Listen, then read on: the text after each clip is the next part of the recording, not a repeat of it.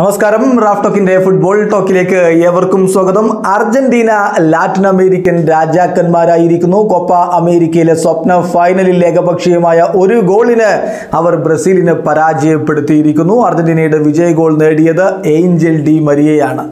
Maracana സ്റ്റേഡിയത്തിൽ നടന്ന മത്സരത്തിൽ മുന്നേറ്റ നിരയിൽ ലണൽ മെസ്സി ലൌട്ടറോ മാർട്ടിനസ് എന്നിവരെ ഒരുമിച്ച് അണിനിരത്തിക്കൊണ്ടാണ് ലണൽ സ്കലോനി തന്റെ തന്ത്രങ്ങൾ മെനഞ്ഞത്. മറുഭാഗത്ത് Richarlison Neymar Junior Everton Soares എന്നിവരെ അണിനിരത്തിക്കൊണ്ടാണ് ടിറ്റെ തന്റെ ടീമിനെ കളിക്കളത്തിലേക്ക് വിട്ടത്. കളിയുടെ ഇരുപത്തിരണ്ടാമത്തെ മിനിറ്റിലാണ് വിധി നിർണയിക്കപ്പെട്ട ഗോൾ പിറക്കുന്നത്. റോഡ്രിഗോ ഡിബോളിന്റെ അസിസ്റ്റിൽ നിന്ന് അദ്ദേഹം നീട്ടി നൽകിയ പന്തിൽ നിന്നാണ് ഡിമരിയുടെ ഗോൾ വന്നത്. ബ്രസീലിയൻ ഡിഫൻഡർ റനൽ ലോദിക്ക് ആ ഒരു ബോൾ ക്ലിയർ ചെയ്യാനുള്ള അവസരമുണ്ടായിരുന്നു പക്ഷെ അദ്ദേഹം അതിൽ പരാജയപ്പെട്ടപ്പോൾ കൃത്യമായി ഇടപെട്ടുകൊണ്ട് ഡി മരിയ അർജന്റീനയ്ക്ക് വേണ്ടി സ്കോർ ചെയ്യുകയായിരുന്നു. ആദ്യ പകുതിയിൽ ഗോൾ മടക്കിയടിക്കാൻ വേണ്ടി ബ്രസീൽ ശ്രമിച്ചെങ്കിലും അത് ഫലവത്താകാതെ വന്നതോടുകൂടി ഏകപക്ഷീയമായ ഒരു ഗോളിന്റെ ലീഡുമായിട്ടാണ് ഇടവേള സമയത്ത് അർജന്റീന കളിക്കളം വിട്ടത്. രണ്ടാം പകുതിയിലും മികച്ച രൂപത്തിൽ ഇരു ടീമുകളും ഗോളടിക്കാൻ വേണ്ടിയിട്ടുള്ള ശ്രമങ്ങൾ നടത്തി. പക്ഷേ പിന്നീട് മത്സരത്തിൽ ഗോൾ പിറന്നില്ല. അതോടുകൂടി ചരിത്രം പിറന്നിരിക്കുന്നു. ഇരുപത്തിയെട്ട് വർഷങ്ങൾക്ക് ശേഷം അർജന്റീന ഒരു അന്താരാഷ്ട്ര കിരീടം ചൂടിയിരിക്കുന്നു.